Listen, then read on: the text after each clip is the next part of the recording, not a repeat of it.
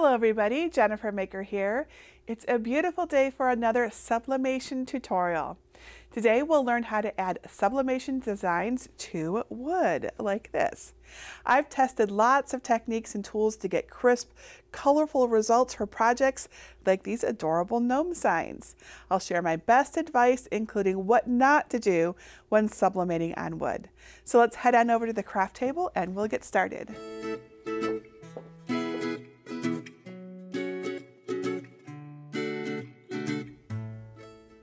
Like many of you, I've been really into sublimation lately. I've tried it on so many surfaces with lots of different techniques. Sometimes it takes a little experimentation and a redo or two, let's be honest, but usually we can get beautiful results. Sublimating on wood has been a bit more of a challenge, I will admit. Between the textured surface, color variations, and surprisingly high moisture content, wood required some extra focus. But look at the results. It's totally worth it. And now I can show you how to sublimate on wood with confidence. First, let's talk supplies. I'll show you the different materials I tried, but you can pick the one that works best for you after you see the results. I used these simple 10 inch uncoated wood rounds in my testing. You can use a different size or shape, of course. Just make sure to adjust your design to fit before printing. I'll show you how to prepare them for hanging too. I also tried my designs on a blank door hanger made just for sublimation so we can compare the two.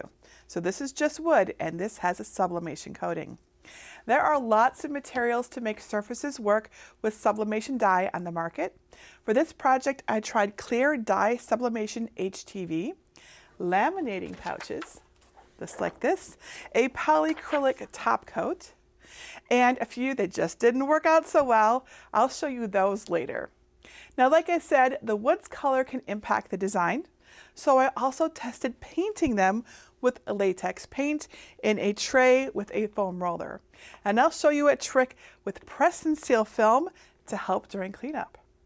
I printed my designs using my Epson EcoTank that I converted for sublimation ink using Hiipoo sublimation ink, and I printed them all on the same A-Sub 125 gram sublimation paper that is my favorite.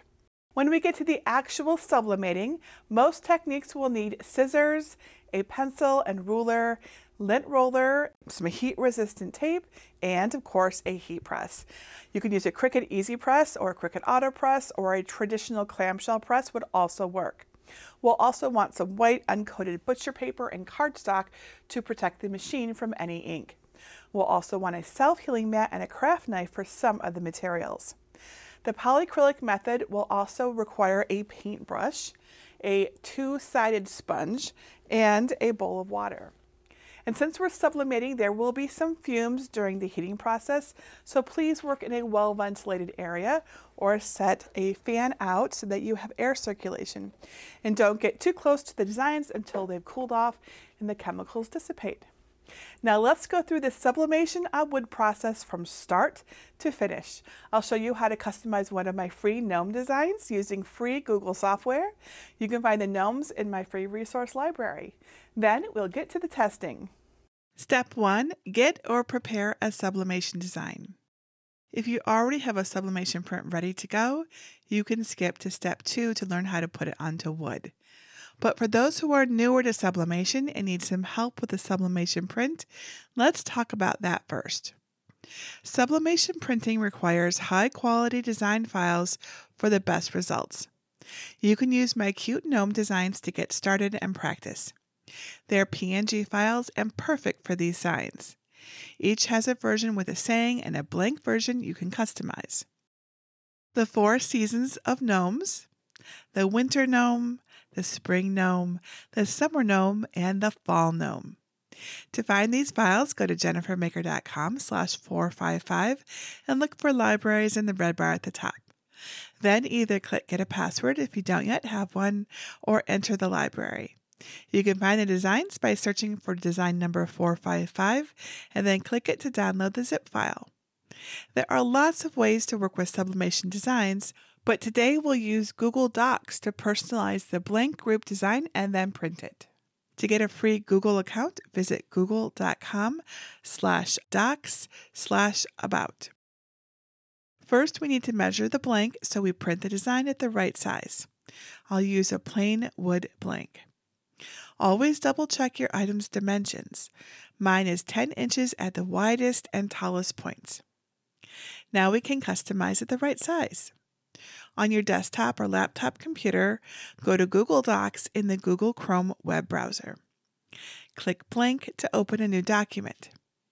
Click File and select Page Setup. Set your margins to zero and change your paper size to match your sublimation paper.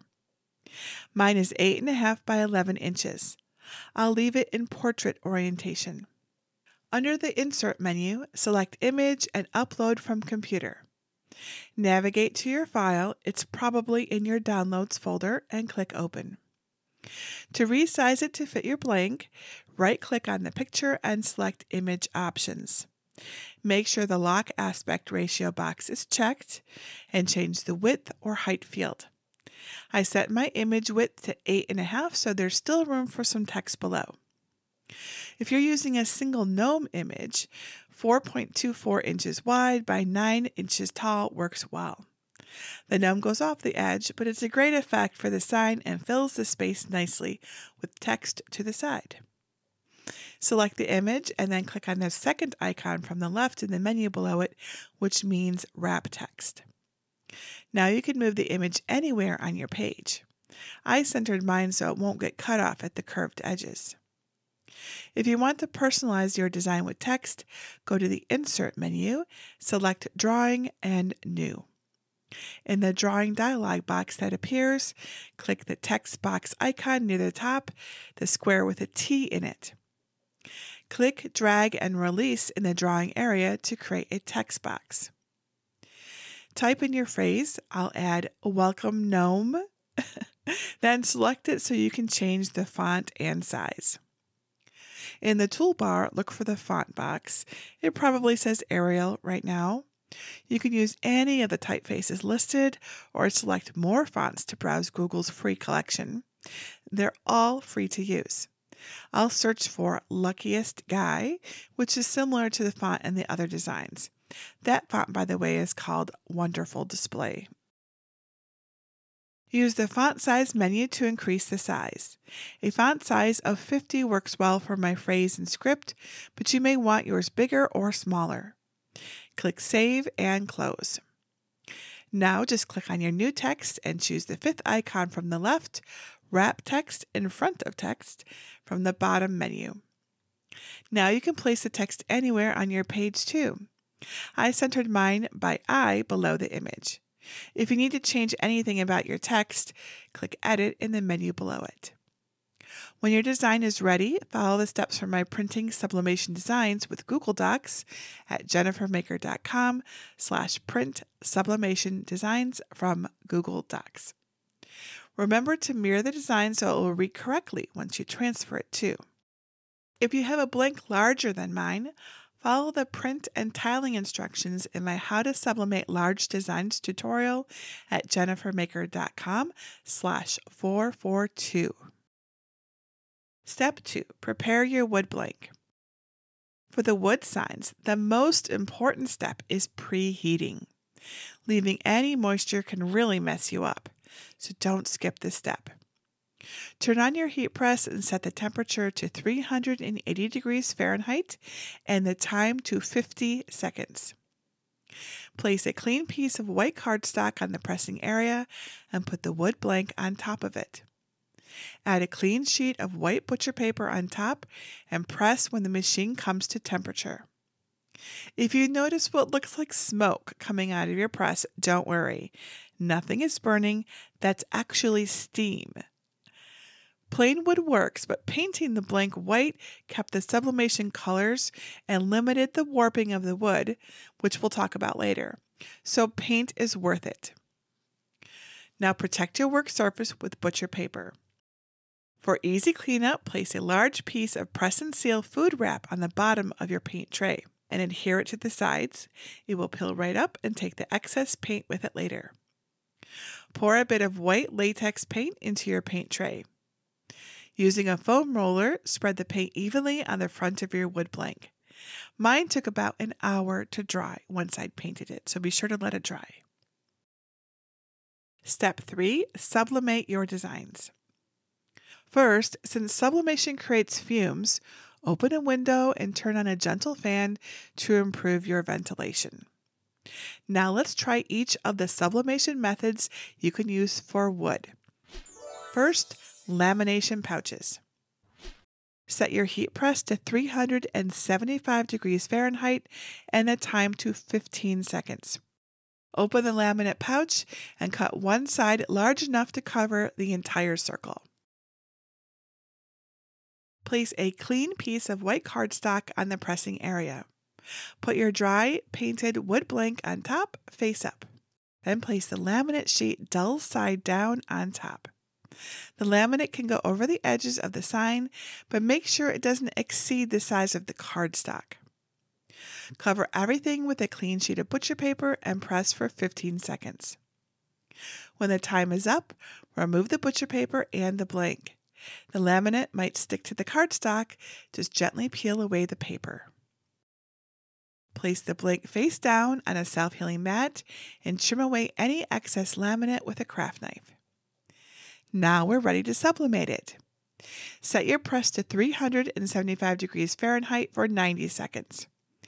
Then feather the edges of the transfer by gently ripping around the design's edges.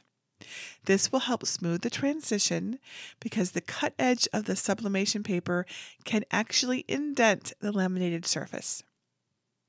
Note the center of the design on the back with a little pencil mark. Place your print face down on the prepared blank. Then use a ruler to find the center of the sign and roughly line up the pencil mark. Secure the print with heat transfer tape to the blank and put it face up back on the cardstock in the press. Cover everything with a clean sheet of butcher paper and press the design. When the time is up, remove the butcher paper and let the design cool before removing the tape and paper. It's still sublimating if it's really hot. And there we go. Clear Dye Sublimatable HTV. Use Clear Dye Sublimatable HTV for a less shiny matte look than the laminating pouch. And since it's thin, you don't need to feather the edges. Set your press to 320 degrees Fahrenheit and your time to 20 seconds. Cut a piece of the HTV a little larger than the wood blank. Lint roll the wood blank to remove debris. Place a clean piece of white cardstock on the pressing area. Put your dry painted wood blank on top, face up, followed by the clear dye sublimatable HTV. Be sure you put it dull side down like this. Don't let the vinyl exceed the size of your cardstock.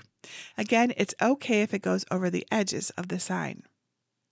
Cover everything with a clean sheet of butcher paper and press for 20 seconds. When the time is done, carefully remove the butcher paper and blank.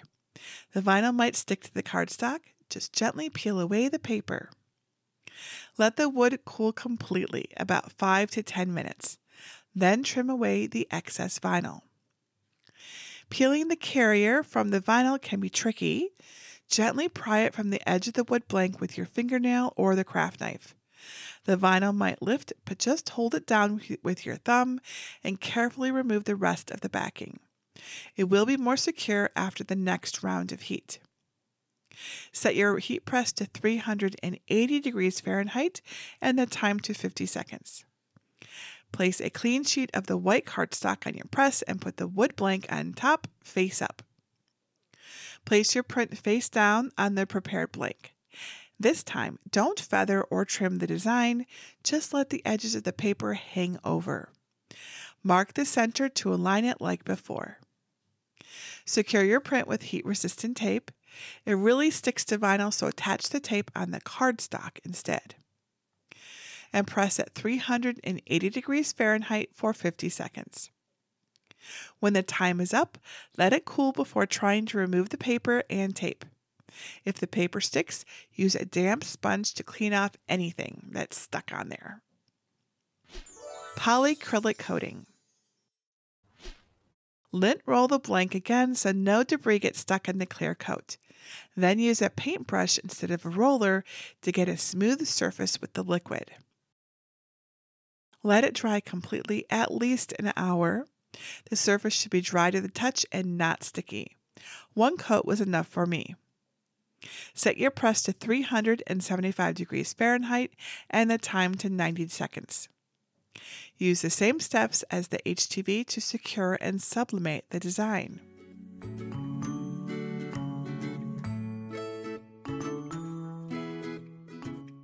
When the time is up, let it cool to avoid ghosting and remove it from the press. Paper tends to stick to the polycrylic, but dampening the surface helps. Most of the paper came up with the soft side of my sponge. If some paper is stubborn, use the scrubber side, but gently. Sublimation blank. If you want to skip all the preparation steps, you can purchase sublimation blanks just like the signs.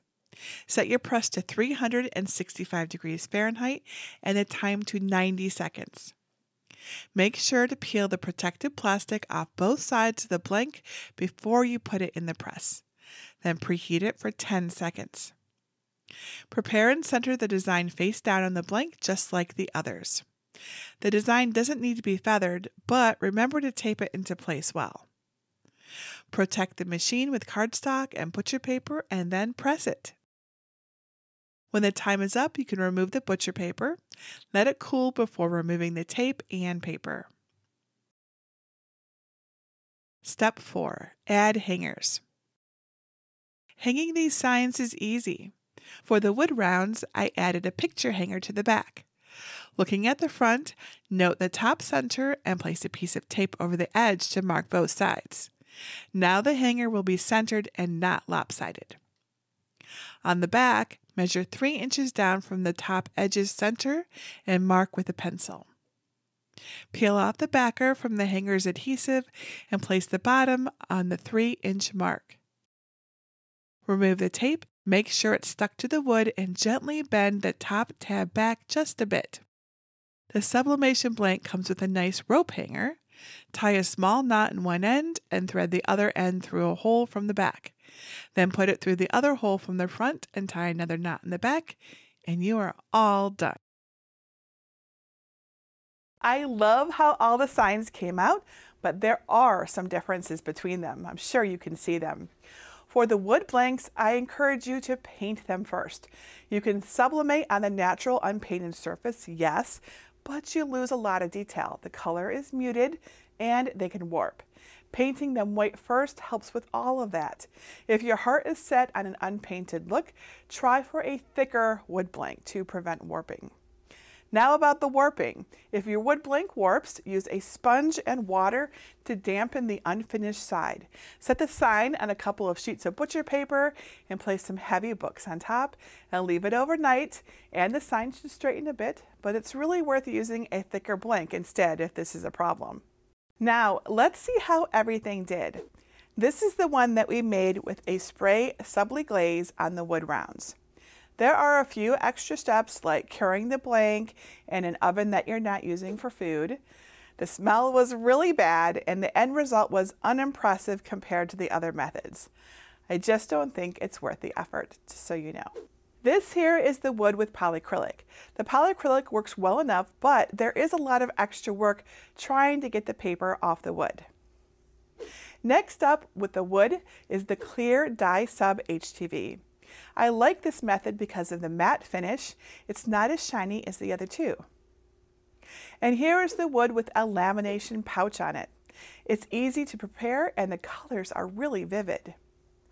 But overall, the clear winner is the sublimation wood blank. The colors were crisp and it's the fastest way to make a cute sign. Sometimes using a product specifically made for a technique is the best option, but it does look different from the real wood.